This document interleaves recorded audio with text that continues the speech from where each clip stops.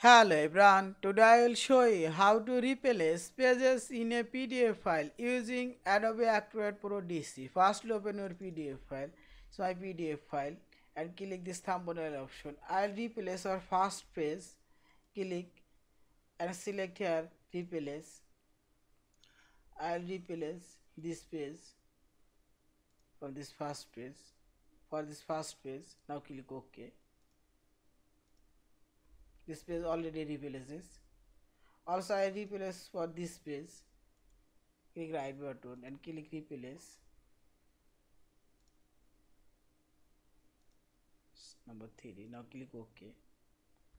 Replace this page page 2 to 4 now click ok. Yes.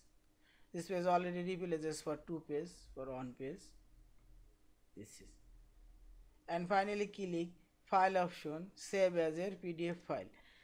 Thank you for watching. Please subscribe like share and comments